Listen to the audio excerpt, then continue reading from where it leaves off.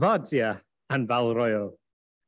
The former is a monastery cut into the caves of the Lower Caucasus mountain range in southern Georgia. The latter is the seat of the chantry in Dragon Age Inquisition. Both sites of power, both sites that we might think of as being connected to a medieval setting or time frame, both seats of identity and of faith. But what might we find on the road between Vardzia and Val Royeaux? That is the topic that I want to talk to you about today. Computer games understandably tend to speak to modern concerns and use modern models of power. This is perfectly normal. This is a standard feature of how art works. We speak to the concerns of the time and place and people that we live in and live around. However, there is a, a difference and that we can draw between the common and the inevitable. And one of the issues of putting modern power structures into our medieval settings is that we treat the medieval as a space distant from our own, a space prior to our own. And this can make some power structures and forms of oppression or identity from our present time appear inevitable and continual as we project them back into our imagined pasts. And by placing modern forms of horror or bigotry into the past, it can sometimes absolve our modern audiences of feelings of responsibility for them by putting them further back from the present, by saying, well, this was always here, this was always like this. And it reduces the range of stories that, uh, as game designers, we can tell by reducing the range of cultures and social structures that players can navigate one of the traditions in thinking about computer games historically is this idea of accuracy. Um, so I'm going to start by knocking that over for you. Um, historical games inevitably cannot be accurate in every aspect. Uh, nobody wants to play a game where you are Geralt of Rivia, but you do have to go to the toilet every hour or two of gameplay. Um, that's over 100 hours of game. It would get dull. Um, and also, accuracy in one area can be used by some game developers as a shield against critiques of another. For example, your Kingdom Come Deliverance, where the swords and the buildings look fantastically, quote unquote, accurate to late medieval Bohemia, but the social history may have significant deviations based on the developer's very strong Czech nationalist leanings. Um, and this has caused some moves to, uh, for example, an authenticity-based approach on what people feel about the past in games. But today I want to instead offer a frame of games as a process of curation. What gets taken from the past and put into a game, and why is that process happening? What do we pick? And just as importantly, what do we leave behind in the medieval past? And it's on that note that I'm going to, tell you about something that is frequently in the left behind box. Welcome to the High Medieval Caucasus um, and the culture from which the cave monastery of Vardzia aforementioned originated. Uh, so the Caucasus is this region that covers the modern countries of Georgia, Armenia, and Azerbaijan, also parts of southern Russia, northeastern Turkey. Um, in the 12th century, it was dominated by the Georgian Bagrationi dynasty. Um, and they dominated this region. I'm not going to say ruled because it often wasn't direct through this complex network of alliances and relationships with Armenian princes, the rulers of Shirvan in modern Azerbaijan, and other neighboring powers. They also, it's also seen in Georgia traditionally as a golden age with rulers like David IV, Aghmashenebeli, the builder, it is a difficult word to pronounce, and maybe Tamar, the first female ruling monarch of Georgia. Um, it's a period of high literary culture for the region as well. But of course, a golden age is not golden for everybody. Um, there is a map of the 12th century region. In case it's of interest, we can pull back if anybody's interested in me ranting more about this in questions. Um, and this was a very highly diverse and urbanized region, uh, covering Georgians, Armenians, Persians, Turks, Kurds, Kipchaks from the North Caucasus, um, and these peoples interrelate in a variety of ways. It's also a diverse faith environment with Orthodox Christianity in Georgia, but the separate Gregorian or Armenian Christian tradition amongst the Armenians, uh, Muslims, Jews, the uh, pagan population of the Caucasus, and so on. Uh, it's a place of quite centralized court culture, but not necessarily administratively centralized. We don't, we shouldn't think of this as having all the institutions and powers of a modern state. And we have this kind of semi-mobile court feature, which is actually surprisingly unusual to see in representations of the Middle Ages, but in many early and high medieval cultures, the personal presence of monarchs was important, and you dealt with that by moving the monarch around. Displaying presence and maintaining their links mattered. The Caucasus is not a common feature in computer games. Uh, the exceptions to this tend to be in the world of strategy, your Crusader Kings 3, your medieval Total War, where you're doing a map and the Caucasus has to be on the map so you don't have a black hole. Um, where it is presented, um, for example, in uh, I think it's Civilization 6, introduces the Georgians, they're often treated as just this sort of mountain culture. It's just a bunch of guys who sit up a mountain and live in fortresses or something. Um, but why should we therefore look at it if it's not something that game designers treat very much? Partly because of this, because it's an underused idea, because it might provide an alternative scope for what medieval can look like. And um, it might therefore produce new ideas for developers and a wider range of possibilities for players. Um, and I'm going to look at a couple of aspects of that now with you. Firstly, power and the state. State power in medieval settings in games is frequently assumed. Rulers can exercise a high level of direct control over people's labor and over military manpower and taxation. Look, for example, at Radovid in The Witcher 3, who manages to conquer about three countries within the space of two years and then turn around their armies into a single cohesive force against his own major enemies this is something that would be frankly miraculous if it happened to any major ruler in history. Um, but again, it's showing this idea where Radovid is able to control a state apparatus to do that. And this creates a very absolutist dynamic for how power is shown. Rulers gain power in zero sum ways. They are trying to take power from anybody else who might have any, and anybody else who might want to retain power is trying to do it at the expense of their monarchs. This means that legitimacy politically can be reduced to questions of who's in charge, the succession, and material power. Do you have the people? Do you have the money to finance any of your ambitions? And threats become an all or nothing struggle. And this actually is quite similar to some traditional narratives about how the medieval Caucasus worked. But when we look closely, we find that actually medieval power actors often don't want to try and gain absolute power.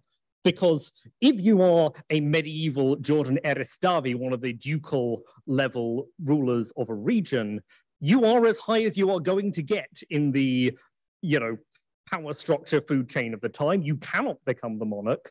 And the thing you probably most want to do is enjoy that and avoid losing your power. So there is a very stability focused thing we actually find much more amongst medieval rulers.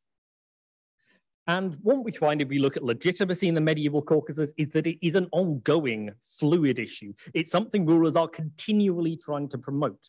If we go back to Vardzia, you can see today in the central church of that cave monastery a larger than life height painting of Queen Tamar and her father Giorgi III. This is you know, political power writ as faith large on a wall. And the reason for that continual promotion is that relationships between polities were not always this neat thing of either you're my ally and you're next to me and you're the same, or you're my vassal and you're completely under me and have to do everything I say. Legitimacy wasn't a zero sum binary calculation. The extent of support that you could get from someone mattered. The point at which they might break with you mattered. But also day to day, how many troops are they actually going to send when I go to war? How effectively are they going to represent me to their own subordinates? And there was this need to hold legitimacy amongst the diverse groups that I've already mentioned. This isn't just a ruler who has to play to a single monoethnic constituency in the style that we might imagine for some nation states. Um, and so gaining legitimacy can be a counter absolutist thing. A strong ruler might be a ruler who can bring on side the Armenians and the Kipchaks and the Ossetians and gain respect and therefore gain recognition from those people. A weak ruler might be the one who has to centralize to try and gain power in this zero sum way. And therefore, they can command less manpower. They risk fractures by leaning on that ethno and faith centric idea of what their polity can be. Um, and we can move on now to look at factions and connections, who's on whose side and why. Some games, of course, do have factional models. We look at Mount and Blade, Crusader Kings 3, there's a bit of this in Skyrim, but they're usually treated as positions on a single major schism.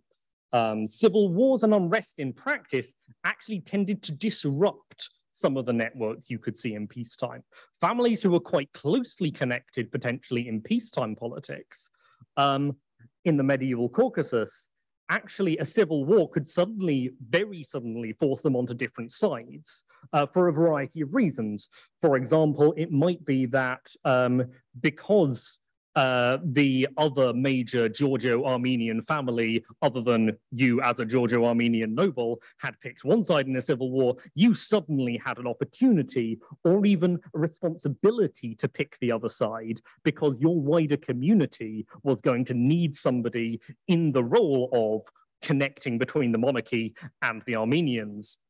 Um, and so politics is often treated as this sort of sealed bubble um, with political factions as these closed networks. And that's not our historical experience at all. And that extends to connections across borders, where, for example, having connections to the Kipchaks on the steppe could actually be very important in letting you start getting involved in things like negotiating who members of the royal family were going to marry. So your lateral connections, not just your vertical ones within this state or political unit, could really matter. And so we can use, and so we can question some of these roles of this like clunky big medieval state and use that to get some wider options for how power is presented in games. By recentering storytelling on ongoing legitimacy, we could open the door to some different dynamics between rulers and battles uh, build elite connectivity as something other than a single like numerical axis of who likes who, who doesn't like who. There are differing priorities and connections that can be forced out in different circumstances. And by building less hierarchical ideas of how people are connected up, we can make more complications in how power is presented and also how the oppression freedom of different groups connects into those power structures. Um, and now I'll move on to that topic. Identity in RPGs, and particularly um, I'm talking ethnic identity, though we'll touch on others, is often a location of distance and violence. Uh, if you look at, for example, the uh, Elves of Dragon Age, the Dwarves of the Witcher games, these are identities that are very strongly circumscribed as um, they are distant from the player, they are different to you, and they are people who are suffering violence against themselves. Um, and this is exacerbated by the way that fantasy medieval settings tend to speciate minority ethnicities. Um, you know, the um, the dwarves um, and elves of um, the Witcher and Dragon Age that I just mentioned are very clearly presented as ghettoized pseudo-Jewish communities. Um, and so, and it's extremely rare, conversely, to find a non-dominant ethnicity or culture that actually crosses multiple species in a role-playing game. Um, conversely, the majority identity is then tied to the polity. We get the proto-nation state. Um, and we get that logic replicated. You know, your Fereldans of Dragon Age are very much humans. And even in sort of fairly multi-species uh, settings like um, the Dungeons and Dragons setting of Faerun, the game set in that, all of the upper nobility of Baldur's Gate in Baldur's Gate or Neverwinter and Neverwinter Nights are humans. So there is quite, so there is this sort of strict majority polity identity connection going on there. Uh, and where there are fractures in that, it's usually that there is some clearly occupied proto-nation. So, you know, the, the whole Skyrim for the Nords thing that goes on in Skyrim is this very clear, you know, there is this area, there is this native, if you like, population. Um, and um, the and so this is dealt with either with this distance and violence system or by reducing these issues in salience. So, for example, some settings just do a it doesn't matter what um, species, ethnicity, or gender you are. Um, but of course, this then removes your ability to talk about those forms of oppression in the game if you are simply going to get around this by not representing them. Um, to return to the medieval Caucasus, we actually find that medieval Caucasian monarchs are monarchs of peoples, not places. Uh, the Georgian monarch is not the ruler of Georgia. They are the ruler of the Abkhazes, Kartvelians, Rans, Khakhis. I'm not going to do the full list, partly because I can't remember it and partly because it's very long. Um, we also find that, like in real life, people have multiple layers of identity, local identities, regional identities, ethnic identities. Um, an example I use uh, when I'm teaching this in classes is to simply look at myself, where when I am in Austria, the salient feature that people tend to notice about me is that I'm English. Um, it's partly the accent, it's partly that I'm the only person here asking for milky black tea all the time. Um, the fact that I'm a European doesn't really make much of a splash in Austria because the vast majority of people I meet here are also Europeans. But then if I go back to the UK, the fact that I am English is suddenly fairly faded into the background. That's the norm around me. The fact that I strongly and consciously identify as a European becomes a major political statement, particularly in the current climate. Um, but we also find that mixed and non-majority identities in the Middle Ages were not a simple power barrier. Um, as I mentioned, the so you have prominent families who get into significant positions because of their connections into their own ethnic groups, and because the monarchs often needed somebody who could exercise that connection. Um, this doesn't mean that this was some like happy clappy, you know, modern, this is the future the liberals want system. These minority ethnic groups often had specific expectations or obligations. Uh, in particular, the Kipchak population in Georgia had very significant burdens of military service, and they were invited into Georgia en masse in the 1120s for that explicit reason. But precisely because the Kipchaks were here, you know, to provide a large mounted fighting arm for the Georgian army, having a good connection with the Kipchaks as a Georgian ruler was really quite important. Uh, and we have multiple records of significant problems happening with Georgian military campaigns if that broke down. Um, I'll move on to touch on gender briefly because it's also a sort of important aspect here for identity. Women did hold significant power in medieval Georgia, most notably Mepe Tamar. Mepe here is the title. It's it is king or queen. It's a non-gendered uh, term for a monarch. Tamar is sometimes seen as unique in Georgian history, but this tends to miss the kind of inarticulate parts of power. Women didn't tend to hold formal offices in this period, but they did hold very important roles. And here again, we get back to connectivity, brokerage, uh, control via connection. And they had a number of diplomatic and negotiation based roles. I also see that I'm running short on time. I apologize for that. Um, so to rethink identity in games, uh, we can say that maybe the sole focus on violence in the state can sometimes restrict the agency of characters with oppressed identities by distancing them, by leaving them simply as people to whom violence happens. And those stories are important to tell at times, but by portraying different societies, we can build a more diverse range of characters and meaningfully approach social dynamics without approaching our own issues as being entirely immutable.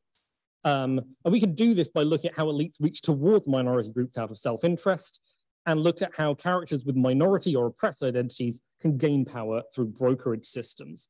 I'm going to run through this as quickly as I can, but I think there are ways we can do this mechanically. So encoding social networks and characters in games uh, to build sort of more simulation-driven quest design around some of these features, I think could allow us to engage with those mechanics of brokerage. Um, and those simulations could also be applied to identities to tag different identity traits and allow situational simulations of, as I mentioned, when does a particular form of identity come to the forefront?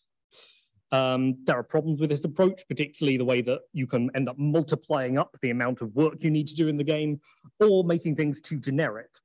Um, but nonetheless, I think this is an important approach that developers could take to address some of these problems and better represent some of these medieval societies. So a final quick run over. Games curate history. What goes in and what stays out is a question we should be asking when looking at medieval ideas and power in games. When we look at different historical societies, though, particularly ones outside the Western European medieval that becomes the quote unquote norm for that time period, we can get a different viewpoint, different ways of imagining social roles and how they might function, different ways that politics and society might work without the full structures of the modern state. And that can bring us benefits for game design and for representation. Um, by opening up new stories and engagements for players, by stopping modern power dynamics becoming a simple inevitability in a game world setting, and while still allowing us to explore identity and power issues in meaningful ways. And simulating social mechanics, I think, are one possible way to explore this. Um, and having taken you between Vardzia and Val Royeaux, uh, that is Didi Madloba, Georgian for thank you. Uh, and thank you for listening, everyone.